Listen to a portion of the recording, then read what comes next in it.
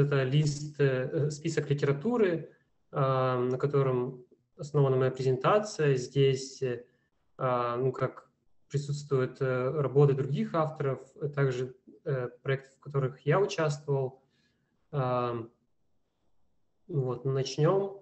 Операция Self-Attention имеет следующий вид. Допустим, у нас есть последовательность длины L большое, Тогда self-attention — это операция, которая принимает на вход три матрицы э, queries, keys and values, э, ну, или запросы, ключи и значения, э, Q, K, V, э, матрицы размера L на D. L — это длина последовательности, D — это, D — это длина векторов. Ну, то есть, в общем, все три матрицы, у них в строках записаны вектора запросов, ключей и значений. Вот, и D — это длина этих векторов. А, тогда операция self-attention – это такой дифференцируемый запрос, дифференцируемый словарь.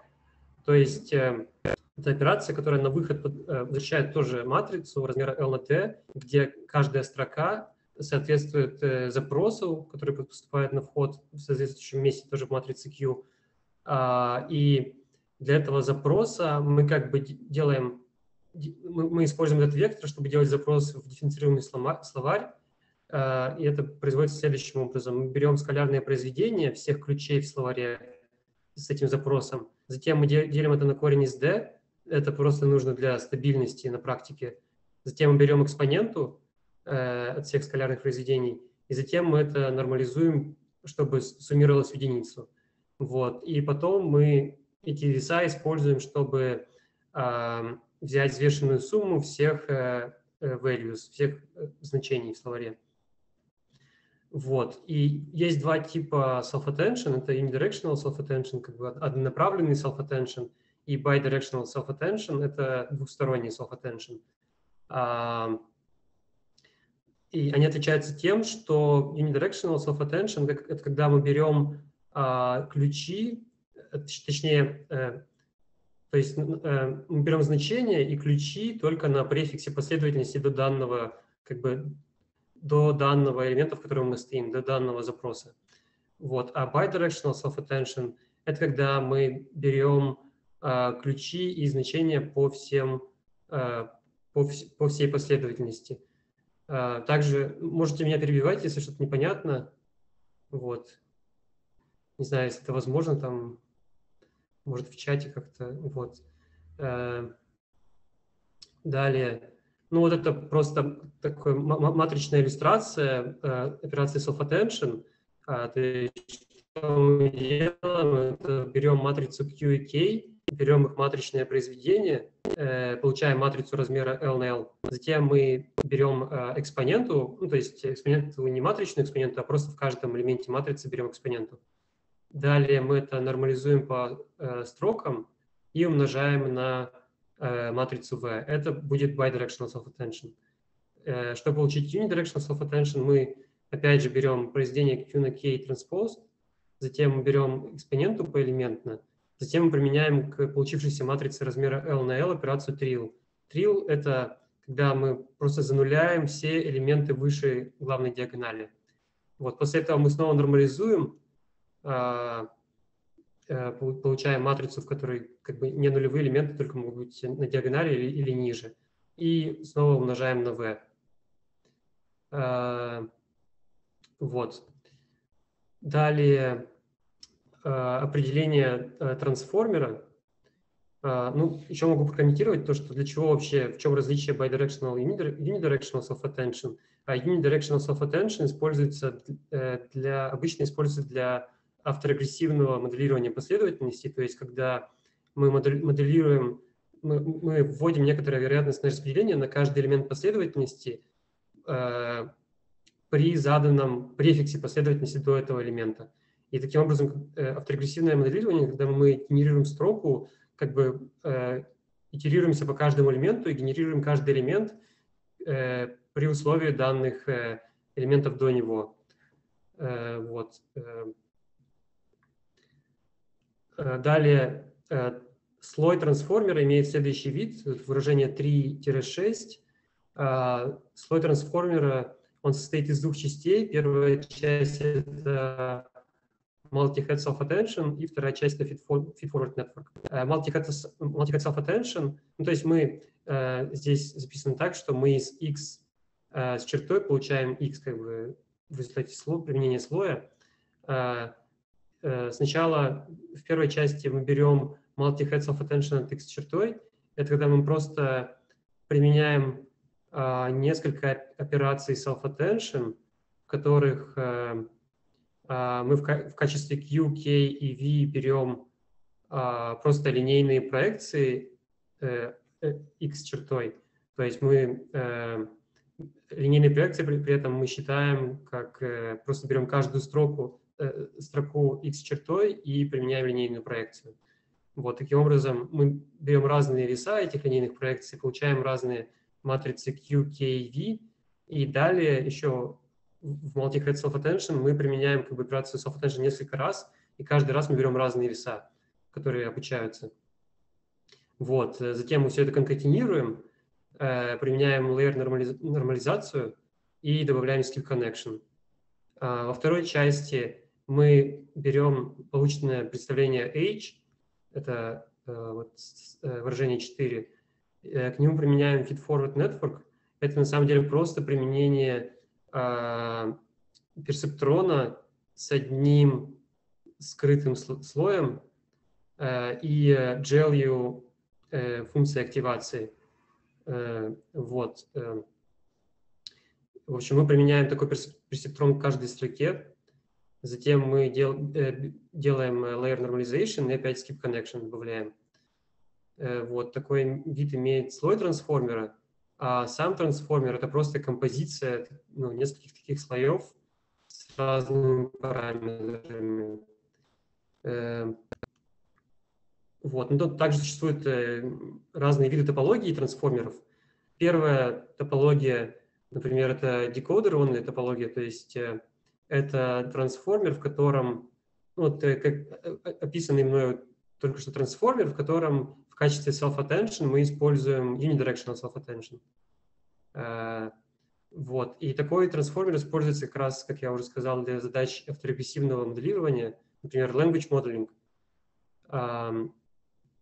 Э, потому что нам нужно использовать э, unidirectional э, self-attention, чтобы output каждой позиции последовательности зависел только от инпутов на префиксе до данной позиции.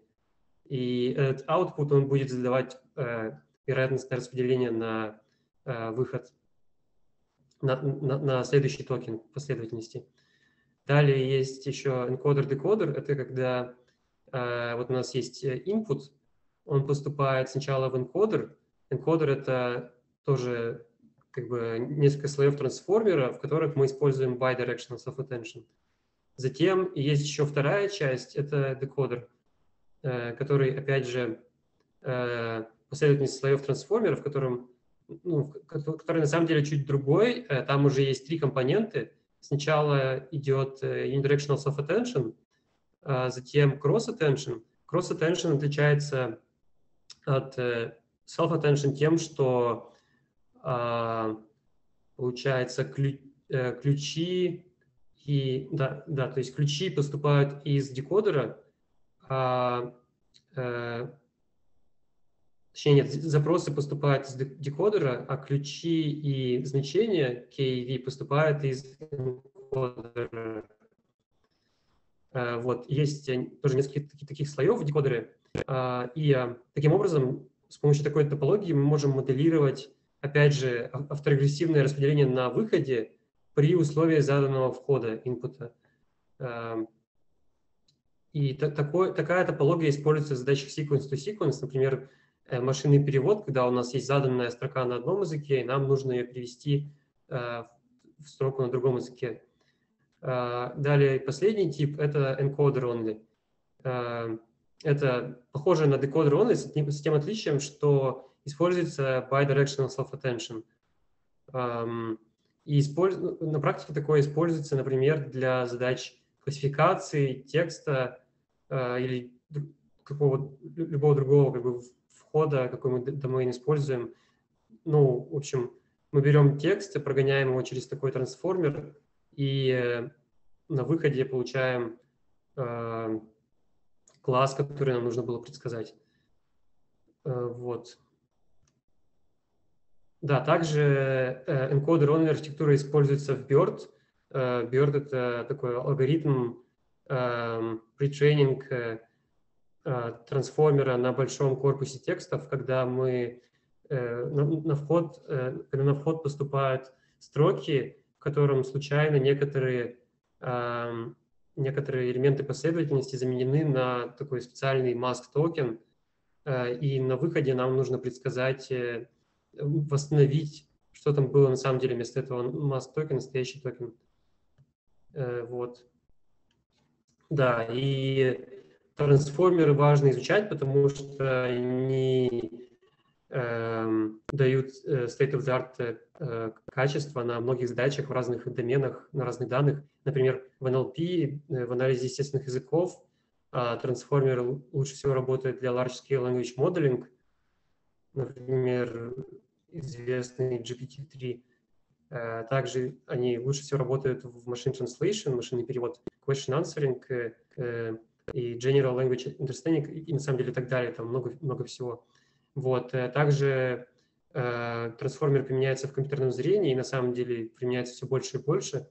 Например, они хорошо, трансформеры на самом деле сейчас сравнимы или даже лучше по качеству, чем конволюционные нейросети в задаче классификации изображений.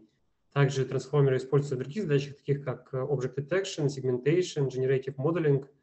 Э, то есть, опять же, генерация изображений, э, э, когда мы, опять же, авторегрессивная генерация, когда мы берем изображение сначала выравниваем в строку, а затем просто генерируем каждый пиксель как бы по очереди. Вот. Также трансформер используется для point cloud processing, video prediction, video classification и так далее. А, ну и третье, трансформеры используются в машинном обучении для э, приложений в биологии. Например, э, protein folding problem. Э, это задача, когда есть э, э протеин, э, белок, заданный в виде последовательности аминокислот, и нужно предсказать э, как этот белок будет... Э, э, в общем, нужно просто предсказать матрицу расстояния между элементами белка, то есть как он будет в пространстве выглядеть. Вот. Также существует задача протеин моделинга, когда просто вот э, белок, представленный в виде последовательности аминокислот, и ну, таких белков очень много, и просто нужно учиться моделировать, делать как бы language modeling таких белков. Uh, еще есть protein structure and function prediction, когда на вход выдается белок в виде последовательности, и нам нужно предсказать его структуру либо функции. Вот. Ну и везде в таких задачах используются трансформеры.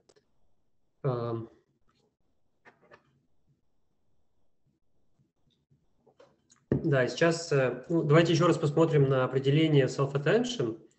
И э, легко видеть, что э, на самом деле, чтобы нам посчитать self-attention, нам нужно допустим, мы стоим в данном элементе последовательности, и нам нужно а, либо посмотреть на весь, как бы обойти весь префикс последовательности, то есть O от L элементов, либо вообще всю последовательность, то есть просто L элементов.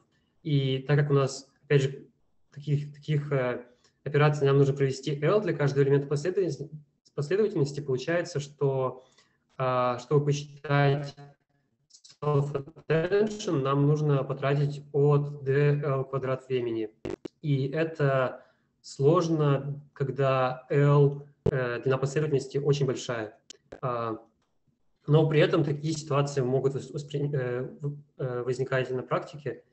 Например, в анализе естественных языков мы можем хотеть анализировать длинные тексты. Например, есть PG19, это датасет классических Э, классической, произведений классической литературы, в котором средняя длина последовательности – это 69 тысяч. И понятно, что 69 э, тысяч в квадрате – это немного многовато, и это будет очень долго ждать, когда self-attention посчитается. Вот. Второй э, пример – это в компьютерном зрении. Э, допустим, мы хотим делать авторегрессивное моделирование изображений, и даже изображение э, разрешением 64 на 64 э, имеет 4096 пикселей, и, ну, опять же, это в квадрате получается уже довольно, как бы, слишком много операций. Вот. А можно представить, что изображение будет на самом деле в большем разрешении, э, а также то, что мы захотим анализировать видео, э, получается, это еще все будет умножено на количество кадров в видео. Вот. И последнее в биологии. Э, мы можем захотеть анализировать не один протеин, а комплекс протеинов или даже геном. И, допустим, допустим, в задачах э, генерации синтетических организмов. И, э, ну вот, например, геном человека, его длина составляет 3 на 10 девятый. Понятно, что в квадрате это будет очень много операций. Вот, и поэтому в литературе было предложено, был предложен такой зоопарк э, трансформеров, которые работают на длинных последовательностях. И мы сейчас рассмотрим некоторые из них. Первый Э, эффективный трансформер – это sparse трансформер. А его э, удобнее объяснять на примере генерации изображений. То есть вот картинка А – это сверху, вот как бы как мы генерируем изображение, просто идем по, пиксельно, по пикселям и генерируем каждый, при этом что предыдущие пиксели уже сгенерированы. Понятно, что для каждого пикселя нам нужно посмотреть на все предыдущие пиксели, и в результате получается вот такая вот снизу нарисована матрица внимания – и понятно, что это тоже квадрат от L, то есть O от L квадрат вычислений. И что предлагается в sparse трансформере, это давайте вместо того, чтобы смотреть на все пиксели, будем смотреть только на предыдущую, э, ну, вот как здесь показано, здесь э, будем смотреть на, только на предыдущую строку, либо только на столбец над этим пикселем, либо на самый э, крайний правый столбец до этого пикселя. И таким образом понятно, что вместо то есть в каждой строке у нас вместо O от L ненулевых элементов матрицы внимания будет O от корень из L. И итого получается O от L корень из L вычислений, чтобы посчитать self-attention, что уже гораздо быстрее. Вот. И авторы показывают, что Sparse Transformer работает э, э, хорошо на различных задачах генерации, например, генерация изображений на датасетах CIFAR-10 и ImageNet – также генерации текста на NVCate и даже генерации музыки, э, на генерации классической музыки. А, далее у нас идет Transformer Excel, который борется с так называемой задачей, э, проблемой фрагментации кон контекста. Эта проблема возникает, ну то есть самый простой э, вариант – как можно скармливать длинную последовательность в трансформер, это просто ее порезать на куски и скармливать каждый отдельный кусок. Например, здесь вот э, э, на иллюстрации вот у нас последовательность состоит из 8 элементов. Допустим, 8 это много, тогда мы делим последовательность на две части по 4 элемента и скармливаем их отдельно трансформеру. Тогда получается вот эта проблема фрагментации контекста, потому что, а, например, когда мы анализируем, скармливаем трансформер второй кусок, у нас есть первый элемент второго отрезка, который э, не получает на вход, э, то есть который мы считаем от, э, unidirectional self-attention, и получается он не смотрит ни на какие предыдущие элементы из-за того, что мы как бы так разрезали последовательность. А, и это проблема, потому что во время обучения получается, что мы теряем полезную информацию. Вот. Э, далее, во время инференса а, тоже есть проблема, возникающая из-за того, что, ну, как мы вообще генерируем такую последовательность. Это, ну, вот у нас был этот э, отрезок из четырех элементов, то есть сначала мы генерируем первые четыре элемента, затем берем последние три из этих четырех, и при условии этих трех генерируем следующий, пятый элемент и так далее. И таким образом, чтобы сгенерировать каждый элемент, нам нужно а, прогнать трансформер по всему вот этому отрезку длины 4 что может быть э, как бы долго. Поэтому в Transformer Excel э, предлагается следующая идея. Давайте э, вместо такого подхода э, будем делать следующее. Будем, опять же, Вот мы взяли последовательность, мы ее разделили на отрезки. Теперь мы опять же будем итерироваться по каждому отрезку. Но когда мы прогоняем, будем прогонять трансформер, мы будем прогонять не только по этому отрезку, а по нему плюс предыдущий отрезок. А, и таким образом, но при этом loss мы будем считать, а также градиент э, мы будем только считать по второму отрезку. Таким образом, у нас а, даже в первом элементе второго отрезка как бы будет э, некоторая информация. То есть э, attention этого элемента будет смотреть на предыдущие элементы. И получается, мы как бы решили проблему фрагментации контекста. Далее, во время генерации, опять же, это получается генерировать быстрее, потому что а, мы вместо того, чтобы генерировать каждый, отрезок, э, каждый элемент по отдельности, мы будем генерировать их отрезками. То есть мы берем, то есть во время генерации мы сначала генерируем первые четыре токена, затем берем вторые э, четыре и их генерируем а, ну, как, так же, как в процессе обучения мы берем последовательность из этих восьми токенов и как бы генерируем вторые четыре. Затем мы отметаем первые четыре, э, берем вот эти вот последние четыре, и на основе их мы опять генерируем еще следующие четыре и так далее. Э, вот.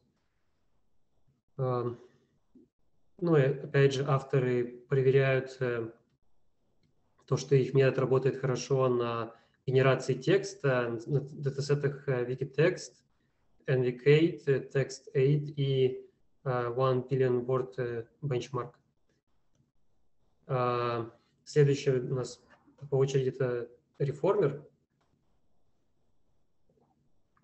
Давайте перепишем определение uh, Unidirectional Self-Attention следующим образом. Сначала введем матрицу А, которая вводится как, ну, вот мы берем Q на K transpose произведение, делить на корень из d и затем экспоненту. И такая вот матрица А размера L на L – это как бы такая неотнормализованная матрица внимания. Тогда определение unidirectional self-attention можно э, переписать следующим образом. Это мы берем, во-первых, три лота, то есть зануляем все элементы выше диагонали. И э, затем мы нормализуем все элементы А по строкам. Это можно представить как просто умножение э, триота слева на инвертированную диагональную матрицу э, трила А, где, где по диагонали стоят элементы трил А умножить на вектор из единиц. То есть это легко понять, что это на самом деле просто мы посчитали сумму всех э, элементов в каждой строке, и затем мы э, эту сумму инвертировали, то есть сделали 1 делить на эту сумму, и умножили на каждую строку трил А. Вот. И затем все это получившееся мы умножаем на матрицу V, матрицу значений. Вот, и отсюда из такой записи легко понять, что нам на самом деле нужно э, применять линейный оператор tril-A э, быстро, эффективно, э, чтобы быстро считать self-attention. Э, мы будем использовать следующий подход. Мы будем аппроксимировать эту матрицу А с помощью спарса разреженной матрицы. Ну, то есть, на самом деле, мы это делали уже то есть э, в sparse трансформер мы делали то же самое, с отличием то, что здесь эта sparse матрица, она будет зависеть от входа, то есть она будет зависеть от Q и K матриц. А, вот, то есть она как бы такая динамическая, вместо статическая, статическая как в sparse трансформере. Вот. Э, как это делать? Ну, то есть мы будем аппроксимировать trill A sparse матрицей, в которой мы будем занулять просто все элементы изначальной матрицы, которые как бы не очень большие по, э, как бы, они меньше, чем другие элементы. Вот. Э, так как экспоненты – это монотонная функция, нам нужно таким образом искать пары э, ключей и значений, точнее, запросов и ключей, скалярное произведение которых сравнительно большое по отношению к всем остальным элементам. То есть на самом деле нам нужно искать ближайших соседей Q и K. Вот, для поиска ближайших соседей мы будем использовать Locality Sensitive Hashing. А, это вот следующая техника. Чтобы, э, чтобы ее использовать, нужно, во-первых, два ограничения. Нам нужно, чтобы матрица Q совпадала с матрицей K. И это ограничение легко соблюсти в трансформере. Для этого нам нужно просто приравнять соответствующие проекции. То есть у нас э, матрица Q и K не получается из одного представления просто применением линейной проекции. Мы просто можем приравнять эти линейные проекции. Вот. И второе условие, то, что каждый вектор запросов у нас должен быть по норме равен единице. И это тоже легко соблюсти, просто как бы разделив э, э, вектор запроса на его длину. Вот, тогда LSH э, считается как... Э, ну, то есть на самом деле мы просто берем и каждый, чтобы посчитать это значение локального хэша, мы берем каждый э, вектор запроса и его умножаем на некоторую случайную матрицу, просто со случайными гауссовскими значениями. И затем э, берем argmax по получившемуся вектору, э, и этот argmax как раз задает хэш. Далее, эм, в результате, чтобы аппроксимировать матрицу А, мы просто, э, получается, аппроксимируем ее э, переставленной блок-диагональной матрицей, в которой каждый блок соответствует каждому значению хэша в LSH. Да, то есть мы берем в нашей аппроксимации только те пары ключей и значений, которые принадлежат одному значению хэша. Вот, и получать, поэтому легко понять, что это просто переставленная блок-диагональная матрица. Вот, и на самом деле мы можем повторять такую процедуру вычисления, э, как бы процедуру аппроксимации А, мы можем ее повторить несколько раз, сделать несколько раундов, и потом просто объединить все эти аппроксимации э, и получить матрицу, которая как бы мы, мы имеем более точную аппроксимацию ценой того, что мы делаем больше вычислений.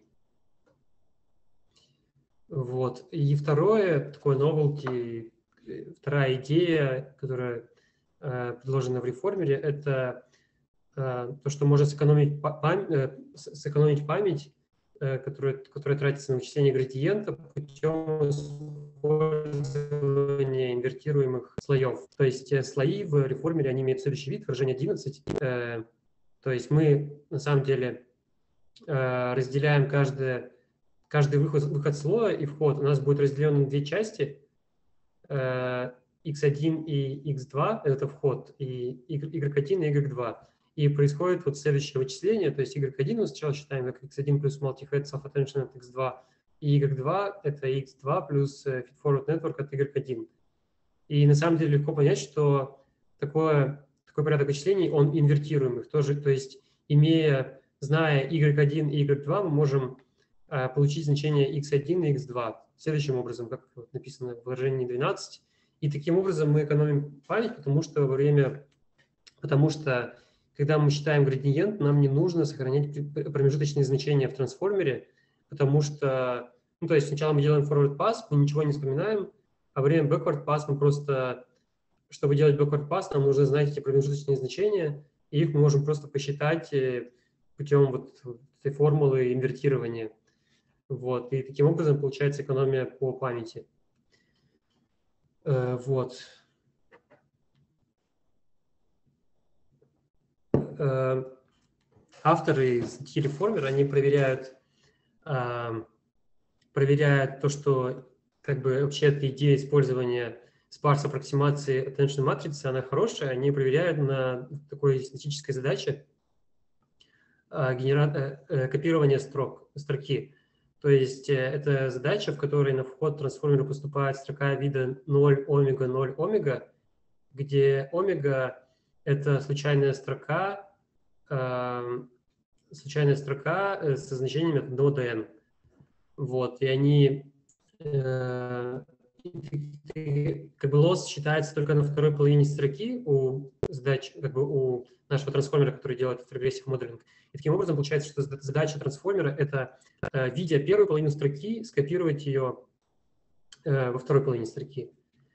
Вот. И авторы проверяют то, что если трансформер на такой задаче обучить э, с помощью full attention, то есть полного квадратного вычисления attention, то затем во время evaluation, во время inference можно э, получать э, как бы хорошее качество аппроксимации путем, э, то есть чем больше LSH раундов мы используем, тем лучше получается качество, вплоть до, вот здесь показано, 94%. А также они смотрят то, что если во время обучения использовать LSH с заданным некоторым количеством раундов, то э, во время инференса, опять же, можно хорошо аппроксимировать, ну, то, есть можно аппроксимировать, э, в общем, можно э, использовать разное количество раундов, и чем больше мы используем, тем лучше получается э, результат на инференсе. Вот. Далее, вот эта картинка, это авторы смотрят то, что на задачах генерации текста на, NV, на датасете NVCate и генерации изображений на ImageNet, а, их введенные ограничения, первое ограничение то, что у нас Q и K должны совпадать, а, а второе это то, что вот новый дизайн слоя, который инвертируем, то, что введение этих ограничений, ограничений не портит, э, э, не портит э, качество работы трансформера. Э, а здесь авторы смотрят то, что ну, вообще, если применять реформер и сравнивать его с э, трансформером обычным, с квадратным э, self-attention, то, в общем, чем больше LSH раундов используется в реформере, тем лучше получается результат э, генерации изображений на ImageNet и текста на NVCate. Также они показывают то, что э, Э, реформер работает гораздо быстрее, чем обычный конвертичный трансформер. Вот, вот сейчас мы пришли к перформеру и favor, и favor plus. Это как раз то, чем мы занимаемся и занимались. Вот, давайте снова запишем определение self-attention. Теперь уже bidirectional self-attention через эту матрицу А, матрицу ненормализованного self-attention. Э, вот, и это имеет следующий вид, выражение 14. И опять же, здесь видно то, что чтобы считать этот двухсторонний self-attention, нам нужно применять линейный оператор А быстро. А, и, в общем, здесь можно понять, что главная проблема – это softmax, потому что если бы не, было softmax, то у нас бы все было бы, все было бы линейно, то есть а матрица А – это было бы просто Q на K transposed, как бы low rank некоторая матрица, матрица низкого ранга. Вот, и тогда можно было бы использовать ассоциативность матричного умножения и записать э, все следующим образом, выражение 15. То есть мы меняем порядок перемножения матриц и получаем вместо сложности ODL квадрат э, сложность OD квадрат L. Потому что здесь вот э, в левой части матрица Q на K транспост имеет, она, она имеет размер L на, на L, и получается она имеет квадратное количество значений, а во втором варианте справа такой матрицы уже нет, и все на самом деле получается гораздо быстрее. То есть O, D, D квадрат на L, в случае, если L сильно больше, чем D. Вот, но, к сожалению, у нас есть этот softmax и экспонента, которые нелинейные операции, и что можно с этим сделать. А, давайте а, возьмем произвольную пару запроса и ключа, и их скалярное произведение распишем следующим образом через э, квадрат нормы запроса, ключа и их разницы, их э, э, как бы ключ, запрос минус ключ. Вот. Легко понять, что вот имеет место такое разложение, тогда из этого разложения легко понять то, что на самом деле А, матрицу А можно разложить следующим образом. dq э, на B на dk, где dq и dk – это некоторые диагональные матрицы, в которых э, просто стоят вот эти вот, э, используются, используются вот эти квадрат нормы q и k из этого разложения, из выражения 16. А матрица B это матрица гауссовского ядра для гауссовских ядер для каждой пары ключа, э, запроса ключа. Вот, так как э, ну, мы разложили А следующим образом, э, и в этом разложении э, применять, как бы умножать на диагональную матрицу легко, это занимает время L, здесь нам остается понять, как аппроксимировать линейный оператор B эффективно, потому что, линейный, э, потому что матрица B, она э, в ней как бы а, в ней нет нулевых элементов, она полностью как бы, не нулевая, и нужно как-то применять, э, нужно как-то умножать на нее.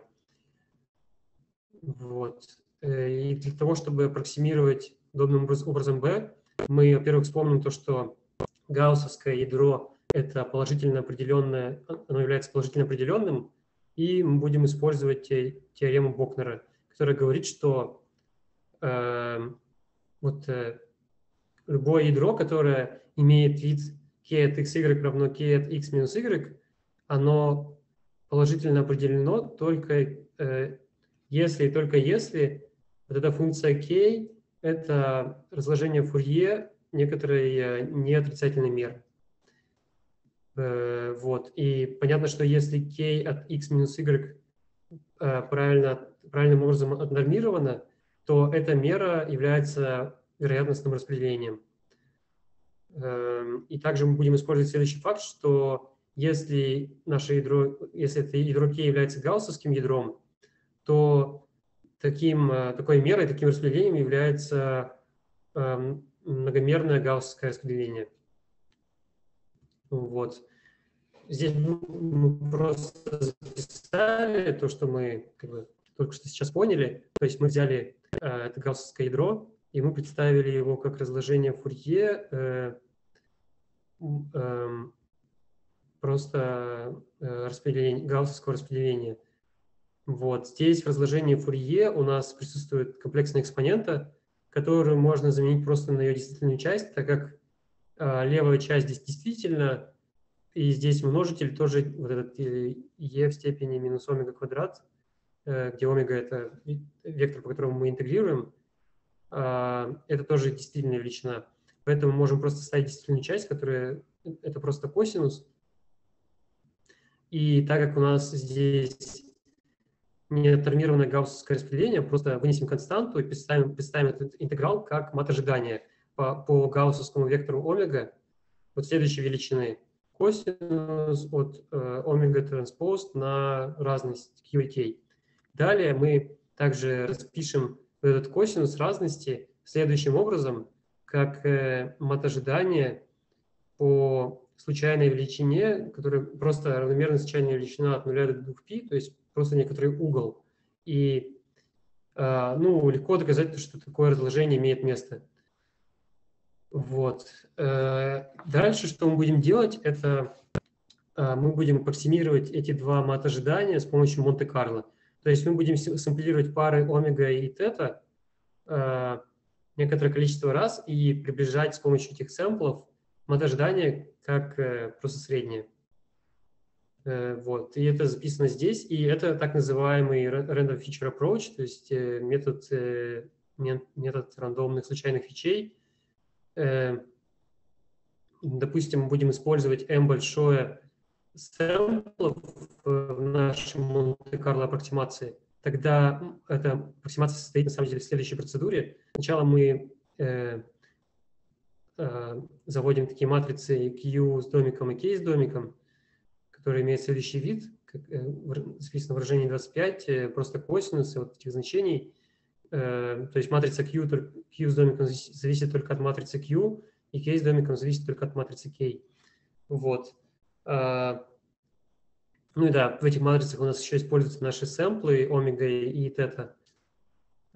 Вот, и ну, из того, что мы обсудили, легко понять, что отнормирован, там, отскалированное от ожидания Q с домиком на K с домиком транспонированное равно B. Далее мы вводим матрицы Q, Q' и K' как просто, то есть просто умножаем Q с домиком и K с домиком на вот эти диагональные матрицы, которые у нас были до этого. Вот. И в конце концов мы получаем, что э, мат ожидания Q prime, Q' на K' транспост э, умножить на некоторую константу равно матрице А.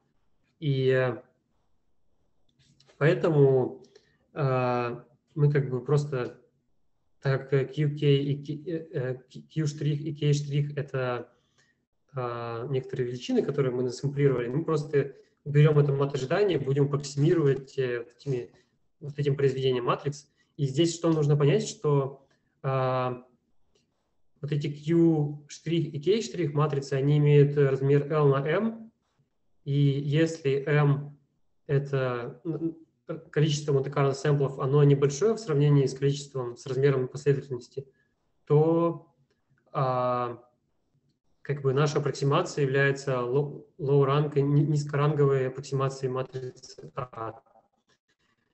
И ну, низко, низкоранговый линейный оператор его легко применять, опять же, с помощью ассоциативности матричного умножения.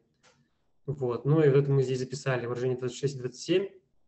То есть мы аппроксимируем э, двухсторонний self-attention, как э, просто мы заменяем матрицу А на произведение Q' и K', э, и используем ассоциативность матричного умножения, и получаем сложность от MDL э, по времени и памяти. Эм, и э, ну, опять же, если m сильно меньше, чем l, то это сильно лучше, чем d на l квадрат. Далее, как бы можно спросить, насколько хороша вообще такая аппроксимация. И здесь можно доказать теоретически то, что, так как, во-первых, наша аппроксимация, она не смещенная, то есть мат ожидания аппроксимации равно реальному значению, а также она, ну, в общем, аппроксимация матрицы А, она ограничена из-за того, что мы там используем косинусы, которые ограниченные функции от, от, от 1 до минус 1, можно получить э, некоторую хорошую концентрацию около, правильного ответа нашей аппроксимации. Э, вот. Также можно получить то, что чтобы получить э, аппроксимацию заданного качества, нам нужно всего от del на логарифм d сэмплов, Монте-Карло сэмплов. Вот. Э, Понятно, что у нашей аппроксимации есть некоторая дисперсия, и ну, разумный вопрос – это как можно еще уменьшить дисперсию. И, и можно ли вообще это сделать? И ответ – да, да, можно. А для этого нам вместо того, чтобы сэмплировать наши Монте-Карло сэмплы омега просто из независимого гаусса распределения, нам нужно их сэмплировать так, чтобы они были ортогональные. То есть э, Э, между, между каждой парой омега вектор, э, угол должен быть 90 градусов. Вот, и тогда э, можно доказать то, что полученная аппроксимация, она имеет меньше, меньше дисперсию. И это как раз называется, мы это называем favor, fast attention via orthogonal random features. Вот. И идем дальше. Если мы посмотрим, снова опять все это запишем, всю favor аппроксимацию, Э, как она записана здесь, мы можем заметить некоторую проблему. Проблема состоит в том, что косинус, э, функция косинуса, она может применять, э, принимать негативные значения, отрицательные. Вот. И из-за этого, ну, например, вот здесь в матрице, во-первых, здесь в матрице Q и K с домиком могут быть отрицательные значения. Из-за этого могут быть отрицательные значения в Q' и K'. И далее Э, вот в этом месте множителя, где мы нормализуем э, каждую строку, по, чтобы она суммировалась, суммировалась в единицу, э, константа нормализации, она на самом деле тоже может, быть, может принимать отрицательное значение. Либо так мы в ней суммируем какие-то положительные отрицательные числа, она может быть, может быть очень мала. И если мы на нее делим, понятно, возникают там численные нестабильности и различные проблемы на практике. И это действительно то, что мы как бы видим на практике. Вот, поэтому а, вместо вот такой аппроксимации нам хотелось бы получить другую аппроксимацию, то есть нам а, хотелось бы получить некоторое разложение вот этого экспонента скалярного произведения, на, получить разложение следующего вида, выражение 32.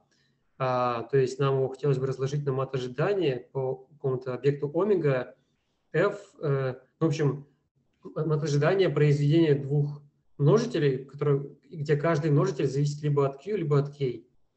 И причем эти множители должны быть положительны всегда. А можно ли такое разложение получить? Оказывается, что можно.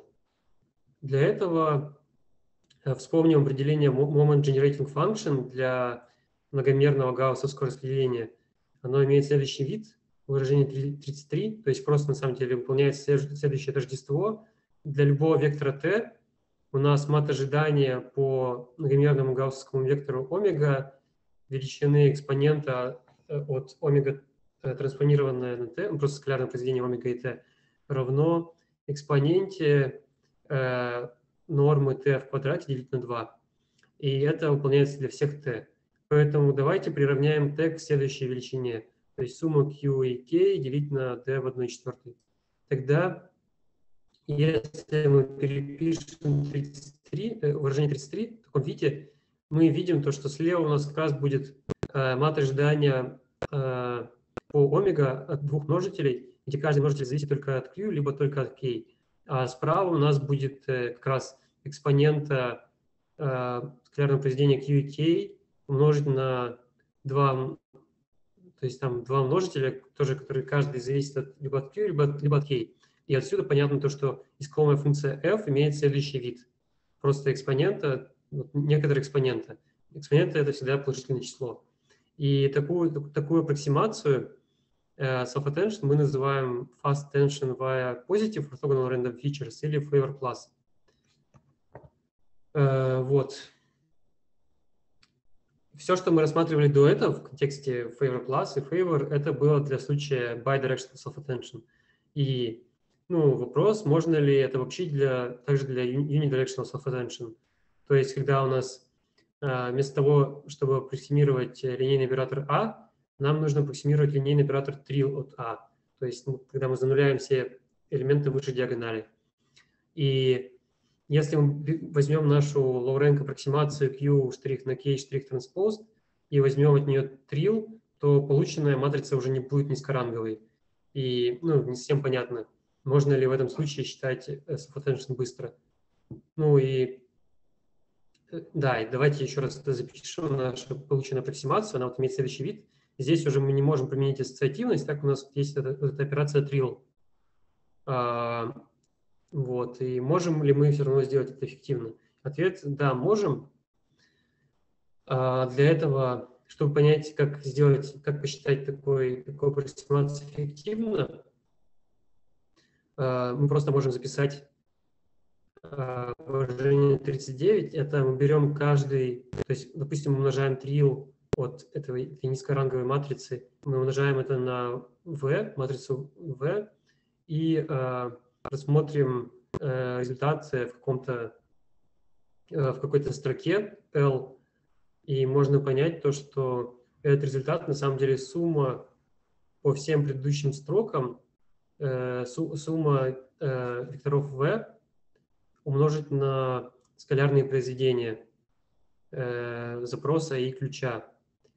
И далее мы опять, на самом деле, внутри этой суммы мы можем применить ассоциативность умножения, то есть мы скобочки можем переставить местами, э, и затем мы можем использовать дистрибутивность и вынести множитель Q за, скобки, э, за сумму.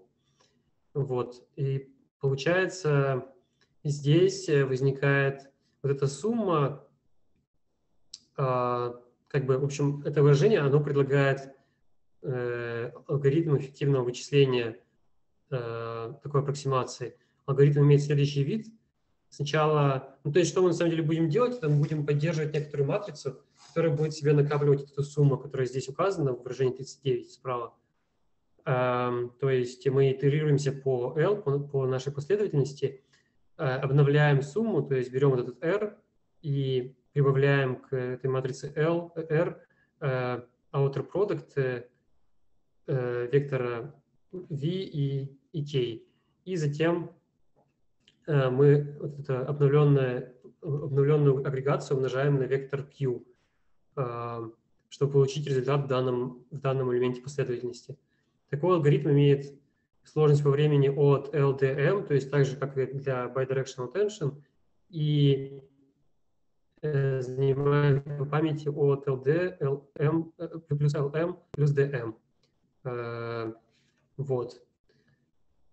Далее, ну, с таким алгоритмом есть на самом деле некоторая проблема. Это то, что его, как бы, он не параллельный. То есть нам нужно итерироваться по всей последовательности, последовательно. Э, и это может быть, может занимать много времени на практике, потому что, э, ну, просто когда последовательность, последовательность длинная, такая итерация может занимать много времени. Можем ли мы как-то этот алгоритм распараллелить? И ответ – да, можем. Э, Для этого мы просто можем заметить то, что вот эти вот векторы R, вот эти агрегации, это на самом деле э, префикс суммы. То есть у нас есть некоторая последовательность вот этих outer продуктов, и R – это просто префикс суммы этой последовательности. А операция префикс суммы, э, ее можно вычислять э, эффективно и параллельно, как вот здесь показано на иллюстрации. То есть э, сверху, допустим, у нас вход – Э, и снизу выход. И нам нужно считать префикс сумму. Давайте вот делать операции плюс, как вот здесь показано, по такому паттерну. И на самом деле легко понять, что глубина такой, э, такого вычисления, то есть количество, вот если мы посчитаем количество шагов, то оно логарифмическое от L, от длины последовательности. А, вот, то есть таким образом мы получили параллельный алгоритм за, от логарифма от L, вычисление префикс суммы. И да, то есть э, таким образом мы можем э, вычислять, э, аппроксимировать, аппроксимировать self-attention параллельно от логарифм, логарифм L времени, и это будет занимать памяти от LDM. На самом деле от LDM это, это больше, чем было для, послед, для последовательного алгоритма. Там у нас было от LD плюс DM плюс LM. И ну, это просто очень частая ситуация, то что эм, чтобы что-то ускорить, нам нужно пожертвовать памятью. Вот. Э, далее.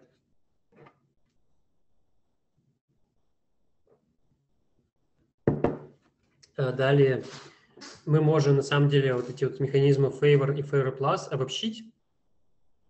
Э, мы можем заметить то, что в этих механизмах что мы делали? Это мы брали матрицу Q, ее переводили в матрицу Q просто путем преобразования каждой строки матрицы. И то же самое с K, K штрих. А, и давайте вместо заданного этого преобразования можем, мы можем вообще рассматривать любое преобразование, просто какую-то функцию g, которая приводит э, вектор в вектор из положительных значений. А положительные значения нужны, опять же, чтобы у нас, когда мы там нормализуем строки, чтобы не получалось отрицательное число и все было стабильно на практике. Вот. Э, то есть, да, будем применять такое вот отображение G. Э, примером этого отображения G может быть э, просто поэлементное применение функции активации ReLU. Вот. И так, такой, такой вид attention мы будем называть generalized attention – и архитектуру, которая использует такой attention, мы будем называть э, перформером. Вот. Далее э, эксперименты, которые мы делали. А, здесь мы просто э, измеряем время, то есть мы меняем длину последовательности измеряем время forward и backward pass. И мы видим то, что действительно время для перформера, оно значительно меньше становится, чем для квадратичного трансформера, эм, и, и улучшение, оно как бы становится больше э, с увеличением длины последовательности. Вот. Далее мы э, сравнивали все вот эти вот возможные аппроксимации, которые мы предлагали. Вот первая картинка слева – это мы сравниваем, э, мы берем favor и сравниваем генерацию Точнее так, мы берем uh, Random Feature Approximation и сравниваем генерацию фичей независимо и uh, ортогональную генерацию ключей. И на самом деле здесь мы получаем, что когда мы используем ортогональные фичи, то дисперсия и качество аппроксимации получается гораздо лучше. Вот, а справа мы сравниваем favor и, и favor plus. И опять же, favor plus получается работать сильно лучше, качество аппроксимации сильно лучше. Вот, далее здесь мы э, просто применяем перформер на бенчмарке LM1P и PG19. То есть это текстовые датасеты э, с большой длиной последовательности. Ну и перформеры работают хорошо в сравнении с обычным квадратичным трансформером. Также здесь мы сравнивались с линформером. Следующее это эксперименты на Trample, датасет протеинов. Здесь мы сравнивались с э, реформером и, э, и с трансформером. И, опять же, перформеры, получается, работают, э, имеют очень хорошее качество в сравнении с этими вариантами. А здесь результаты для генерации изображений на ImageNet. А, и, э, опять же, вот эти э, генерация протеинов. А, ну и опять мы сравниваемся с реформерами и трансформерами, и получается сравнимое качество или, или перформеры лучше работают. Вот. Эм, есть такая статья Long Range Arena. Это статья, в которой сравнивают э, вот все эти варианты эффективных трансформеров, предложенных в литературе, и срав... предлагается такой э, универсальный набор задач, в которых такие архитектуры сравниваются, и в конце концов вычисляется LRA score, то есть какой-то средний, средний скор по всем задачам, и Получается вот такая диаграмма. Здесь по горизонтали это скорость работы трансформера, а по вертикали этот, этот скор. И по ним перформеры получается, получается что, что работают быстрее всех, а по э, скор они где-то посередине. Э, вот. Далее, последняя часть э, нашей презентации – это Slim Performer. Здесь я, наверное, не буду сильно вдаваться в детали, просто как-то на интуитивном э, уровне объясню. В общем, идея здесь в том, что а, этот перформер, который мы только что обсуждали, у него а, время и память, они растут как OATL, то есть э, имеют как бы линейный рост. И на самом деле можно еще дальше улучшить э, сложность, эту вычислительную сложность, можно а, перформеры вычислять за линейное время, но, за, но используя константную память от одного. А, идея здесь в том, что можно переписать каждый слой перформера таким образом, что вообще а, вся, как бы, э, весь propagation, все, все, весь сигнал, который идет вдоль последовательности, можно понять, что он на самом деле идет с помощью он идет внутри операции префикс суммы. Вот, но, но получается, что вот эта операция префикс суммы, она хорошая в том смысле, что, во-первых, она дает некоторый bottleneck, то есть э, каждый элемент префикс можно рассматривать как bottleneck, например, как в рекуррентных нейросетях есть это промежуточное, промежуточное значение. А во-вторых, она еще и инвертируема в некотором смысле.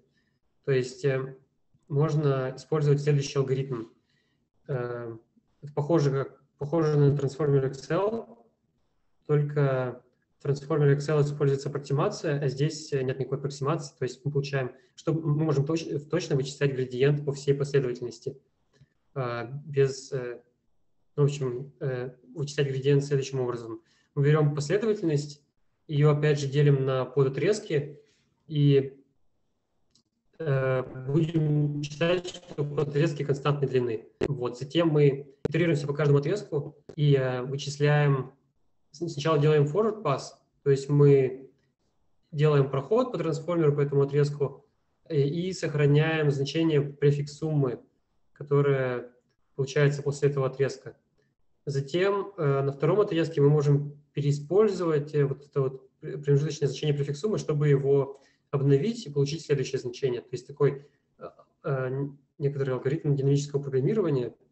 Вот. И в конце концов, когда мы так сделали, конце мы получили полную префиксуму после, после последнего отрезка в последовательности.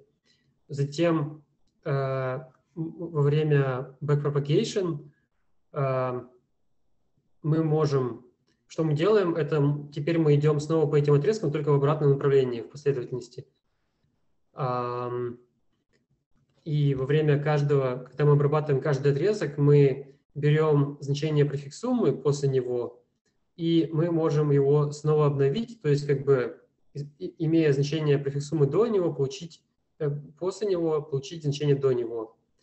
А также мы можем посчитать градиент по параметрам и градиент по префиксуме, и также его как бы обновить, потому что во время backpropagation мы также поддерживаем значение градиента по префиксуме, мы его обновляем. А, вот. И таким образом как бы мы итерируем сначала вперед, потом назад, но мы никогда не проходим, как бы не храним в памяти какие-то э, представления для всей последовательности. Мы только храним их для каждого отрезка в отдельности, который имеет константную длину. Таким образом, мы получаем от одного по памяти, но при этом э, время алгоритма также линейно, как было. Э, вот, и в этом идея. Вот, ну и это как бы интересно э, с той, с той точки зрения, что если мы, например, для того же перформера мы поняли, что у нас время и память OTL. Также для рекуррентных нейросетей тоже легко понять, что чтобы посчитать нам нужно OTL по времени и по памяти. Для квадратичного трансформера у нас получается OTL квадрат, а для вот этого алгоритма получается OTL по, по времени и от ну, по памяти. То есть такое некоторое улучшение.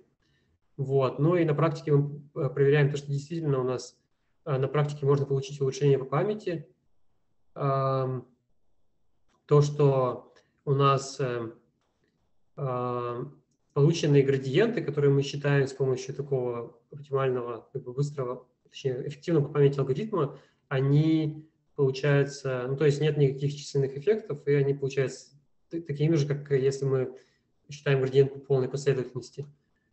Вот. И также мы смотрим то, что э, в некоторых задачах простых на language modeling э, у нас э, то есть мы можем как бы использовать этот алгоритм эффективной памяти для, для обучения. А, и получаются как бы такие же кривые сходимости. То есть э, алгоритм, получается, выдает такой же результат. Вот, на этом все у меня. А, также в конце а, можно упомянуть другие, другие методы для улучшения как бы, эффективности Перв... Ну, эти методы, они такие более общие, их можно принять не только трансформером. Первый метод – это weight sharing. Это когда вместо, вместо того, чтобы иметь э, разные наборы параметров в каждом слое трансформера или там, любой другой э, нейросети, мы можем просто переиспользовать одни и те же параметры. Таким образом, у нас получается, во-первых, меньше параметров, а, во-вторых, э, это на самом деле все быстрее работает на практике, потому что там из-за из устройства кэшей в, в, процессорах. Вот. Второе – это квантизация. А, это когда вот у нас есть параметры, которые хранятся во float, то есть на каждый параметр, параметр тратится 4 байта. А, давайте вместо этого перейдем его там в half precision, будем тратить 2 байта, либо вообще 1 байт, либо там, не знаю, 1 бит вообще. Понятно, что если мы так сконвертируем, то качество работы сети упадет, и поэтому там нужно еще применять некоторые трюки, чтобы а, а, чтобы получить такое же качество, как это дообучать и так далее. А, четвертое – это Neural Architecture Search. Это когда как бы, это такой автоматизированный поиск архитектуры, который работает лучше всего и которая также наиболее быстрая, э, занимает меньше всего вычислений. Ну и последнее – это fine-tuning.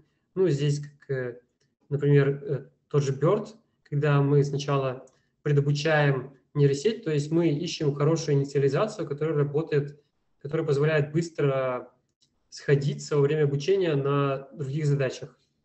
Вот. Ну и тоже это можно, можно рассматривать как улучшение как бы, по производительности. Вот, на этом у меня все. Валерий, спасибо большое. У нас есть некоторые вопросы.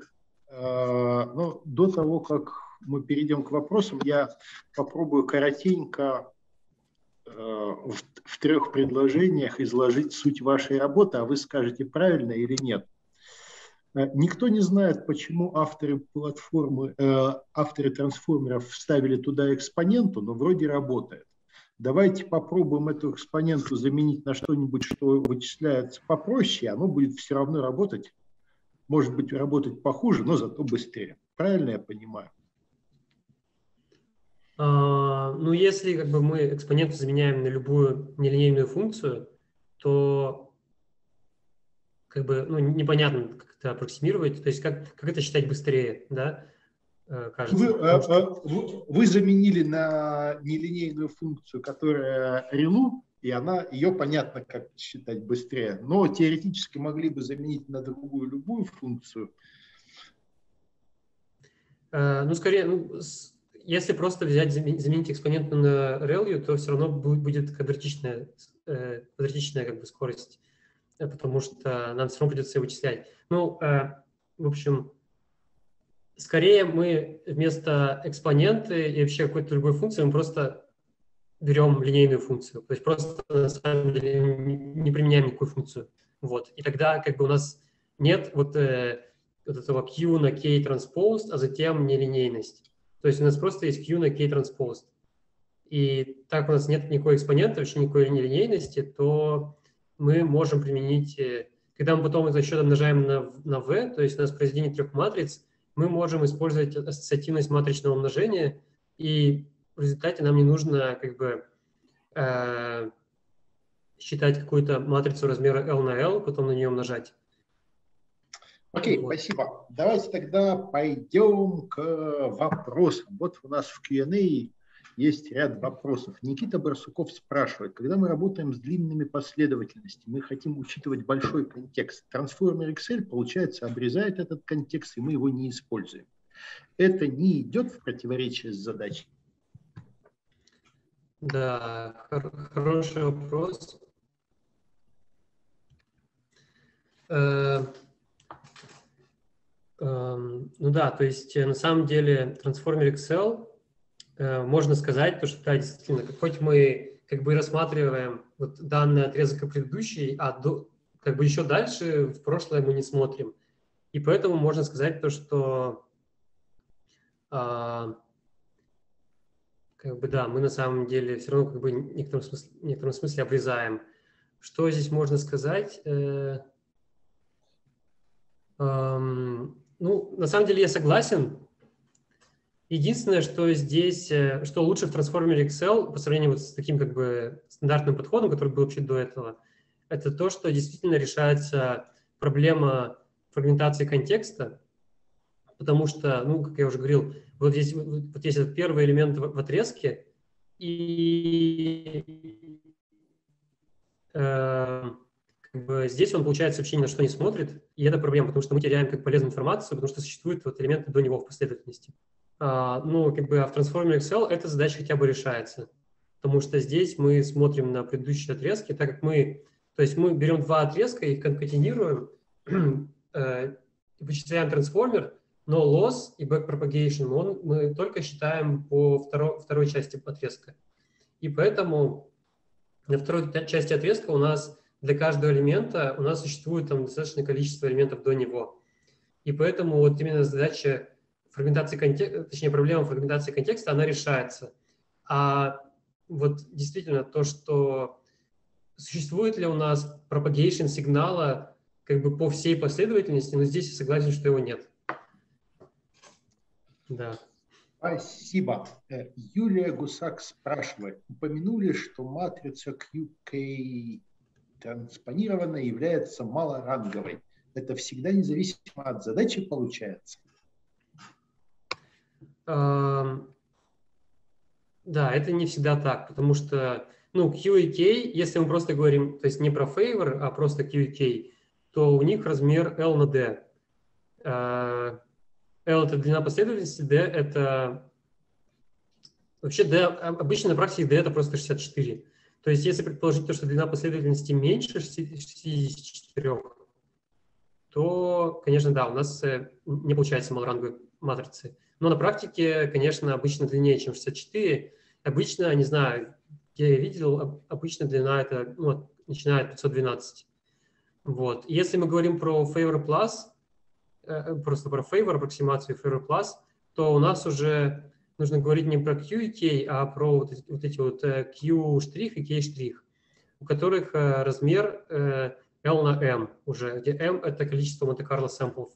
И здесь уже, ну, на практике мы там обычно использовали количество сэмпл, сэмплов – это 384, по-моему, у нас стандартное количество было.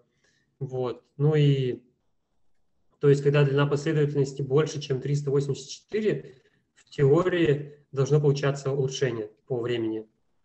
Э, вот. Если меньше, то нет смысла использовать. Спасибо. Прохор Гладких спрашивает. В статьях про эффективные трансформеры часто бенчмарки ставятся не совсем, на не совсем, скажем так, традиционных датасетах. Есть ли эффективные трансформеры, которые показывают хорошие результаты на, на NLP задачках? А, ну, то есть мы, другие авторы, они используют language modeling, который, ну, то есть, э, наверное, можно назвать э, NLP. Вот. Ну, то есть э, я согласен, то, что, как бы, так сказать, применение всех этих эффективных трансформеров, э, то есть нам, нам всегда нужно рассматривать какие-то длинные последовательности. Обычно, там, не знаю, вообще до обсуждения всех этих эффективных трансформеров обычно последовательности были не очень длинные, там, не знаю, 512, там, 1024 или, ну, вроде того. А, но как бы понятно, что, наверное, как, ну, существуют задачи, в которых последовательности будут гораздо длиннее. Эм, и в них обычный квадратичный трансформер уже будет просто невозможно использовать, потому что это будет очень долго, там много по памяти, у нас не хватит памяти, будут э, э, как бы memory, error, error какие-то. Э, вот, и там уже, то есть нужно будет уже использовать все эти техники.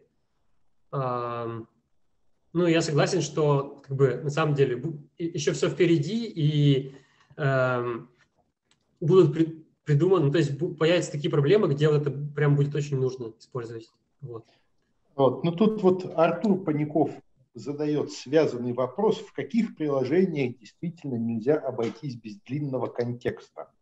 В НЛП можно разбить текст. В CV не обязательно обрабатывать изображение по пикселям. В биологии, видимо, нужно действительно учитывать весь контекст. Есть ли еще что-нибудь? А, да, ну вот как раз биология, то, о чем я думаю, то есть там действительно нужно учитывать весь контекст, потому что вот в этом протеине там или в геноме а, так получается, что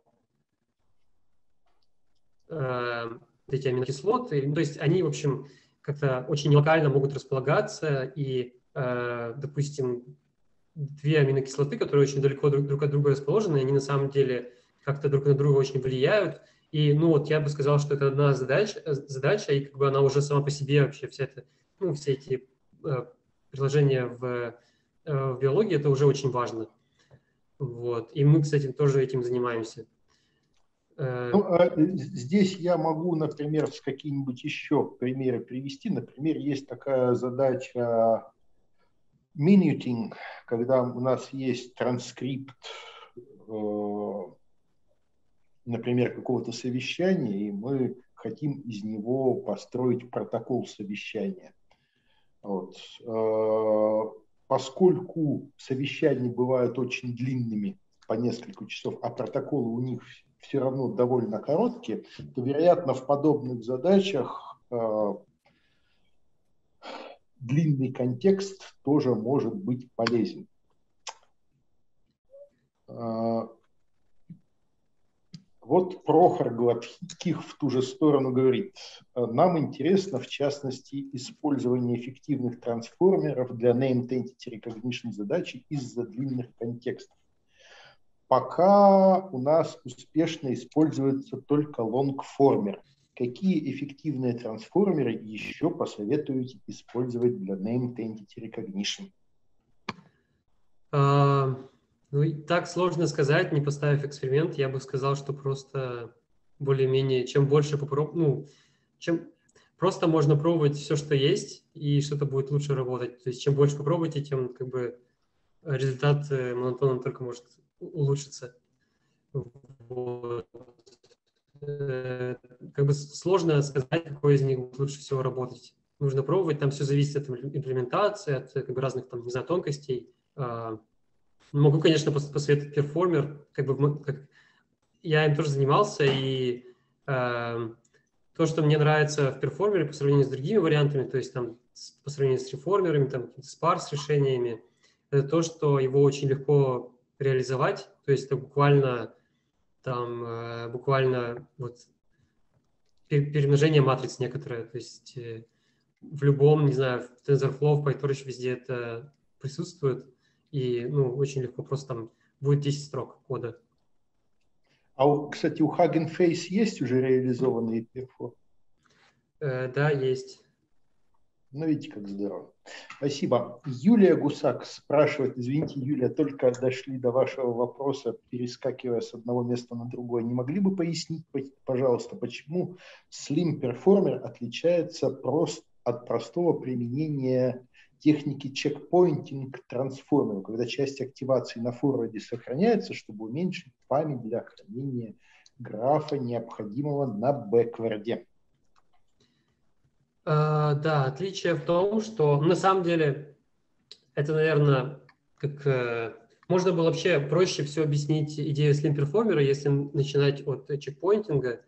А, то есть чекпоинтинг – это когда мы берем, а, вот мы идем по последовательности, и мы, получается, опять же, как бы разбиваем последовательность на чанки некоторые, на, на подотрезки, и сохраняем вот это значение префикс суммы только в конце чанка.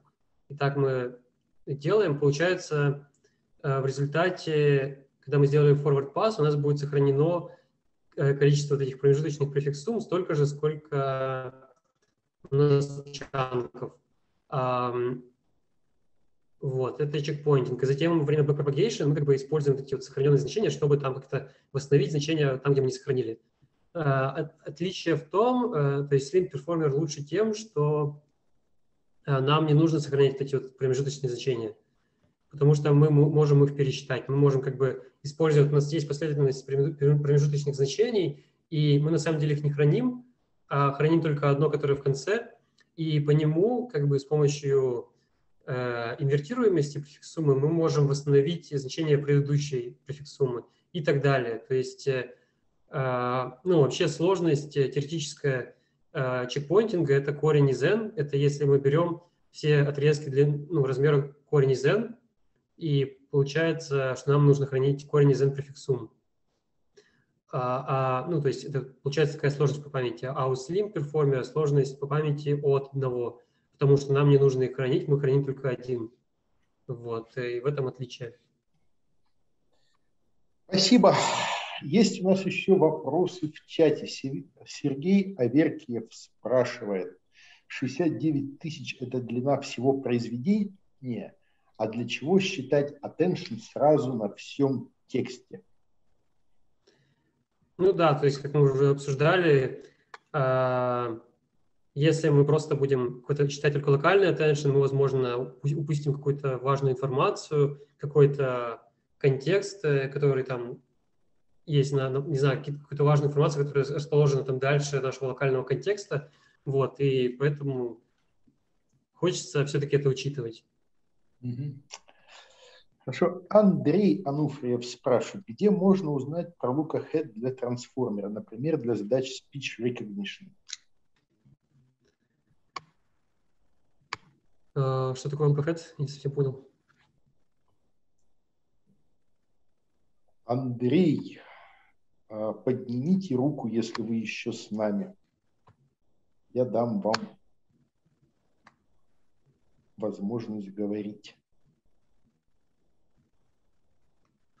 Но кажется, его с нами уже нету. А, есть. Вот у нас есть... Нет, это не он, это Роман Шуцкий поднимает руку и хочет что-то сказать. Роман, пожалуйста. А, да, ну просто э, я как раз э, speech recognition занимался и э, разбирал эти трансформерные архитектуры. А, look ahead, то есть эм, в задаче распознавания речи Обычно что люди хотят, чтобы как только к ним приходил аудиосигнал, они сразу же получали его какую-то расшифровку, ну, моментально. Но для моделей получается сделать это довольно сложно, а, потому что э, ну, не всегда хватает только прошлого контекста для того, чтобы без ошибок предсказать, что это за там буква будет в данный момент времени. И поэтому что делают? Э, делают э, предсказания с небольшой задержкой, где вот этот вот э, буфер сигнала, который подается в трансформер, он сдвинут относительно времени предсказания. А, ну, то есть это получается, наверное, в трансформерах это будет просто немного другая маска attention применяться, где подается больше, больше элементов а, для предсказания текущего элемента. Роман, это вот вы в рамках не CTC loss, а в sequence-to-sequence loss такое? Да, это именно в sequence-to-sequence loss есть. Угу. CTC loss, он как раз и отличается тем, что он э, предсказывает вот сразу же в данную минуту. Ну, да, да, да. Ну, я могу прокомментировать, то есть, наверное, вопрос про то, можно ли обобщить э, как бы вот мы рассмотрели bidirectional и unidirectional self-attention, а можно ли вообще еще одну такую маску attention? И, ну, э, понятно, что можно обобщить, э, ну, там, sparse трансформеры, реформеры и так далее. Э, кажется, понятно, что можно и трансформер Excel. И на самом деле можно и в перформере тоже. Для этого что нужно делать, э, как это объяснить? Ну, а, а проще всего, наверное, на спарс трансформере объяснить, потому что есть такие ленточные матрицы, да, у которых э, не, вне диагональные элементы равны нулю вне некой ленты вокруг диагонали. Вот, поэтому если мы для, для спарс трансформера возьмем такую ленту, то, по всей видимости, это будет являться как раз такого рода обобщение с ограниченным заглядыванием вперед. А вот. Если ну, я, я бы сказал, что вообще ну, да. это просто можно представить как обычный unidirectional трансформер, вообще весь этот ahead, потому что он просто как бы, мы считали э, префикс последовательности, неважно, как бы, где он останавливается. Вот мы считали вот с этим ahead, и нам нужно просто что-то вернуть. Вот, и, ну, можно, то есть это как будто просто мы сделали некоторый shift, э, вот, и можно использовать такой же трансформер обычный. Mm. Вот. Ну, кстати, э, идея интересная, забавная. Можно пробовать. В распознавании речи, по-моему, такого, вот Роман э, Помните что-нибудь такое в распознавании речи там? Да, есть, конечно, статьи про применение трансформеров в распознавании речи. И Нет, там ну, даже... с, с, с фиксированным заглядыванием вперед. Да, и там авторы даже изучали, насколько важно это заглядывание там, для mm-hmm. точности модели. А, но пока что я могу сказать, что трансформеры не очень хорошо работают именно в этой задаче. В смысле, они требуют либо довольно большого контекста впереди, а, и получается сильная задержка. А, ну, в общем, их нельзя применить так же, э, так же просто, как в задачах там NLP, когда у нас сразу есть доступ ко всем элементам последовательности. Не, ну, э, по идее, конформеры довольно широко сейчас модная тема в распознавании речи. Ну, э, да, в основном использование трансформеров в распознавании речи, оно происходит так. Там берется какая-то бэкбон модель, она э, постепенно, э, ну, она обрабатывает там эти фичи, стоят несколько слоев self-attention, и в итоге все агрегируется и подается в тот же там CTC loss на выходе или в другую схему sequence to sequence. Ну, то есть не используется sequence to sequence а, возможность трансформера самого. То есть ну, там, там он не так меняется. Очень интересная тема, но мы сильно отходим от магистральной темы сегодняшней дискуссии, да и затягивается она уже довольно сильно. Он, от нас уже почти половина народа сбежала. А, Алексей Пескунов спрашивает, извините, может быть, некорректно понимаю, но к моменту продлинной последовательности, например, с совещанием, можно ли алгоритм использовать несколько раз поэтапно, уменьшая результатность? Например, три часа сначала возьмем до часа, потом до 20 минут и так далее. Ну, можно, можно по-разному пытаться делать, раз уж мы про минутинг заговорили. А, можно делать и так, и эдак, как как правильно и хорошо делать, э, никто толком не знает, поскольку задача достаточно свежая, э, так, свежая, всплывшая в научное сообщество. Да? То есть у нас на Интерспич на последнем было первое соревнование по минитинг. Вот. Но э, из общих соображений end-to-end модели на таких задачах должны бы работать получше, чем такого рода ужимания. Хотя, конечно, никто не знает, и следует экспериментировать и пробовать. Много нерешенных задач осталось. Коллеги, пожалуйста, еще вопросы, соображения, предложения, замечания. Тогда, раз нет других вопросов, Валерий, спасибо большое за рассказ. А, и через две недели жду всех на следующей на следующем вебинаре с Денисом Катеринчуком из City University of New York. Спасибо за приглашение.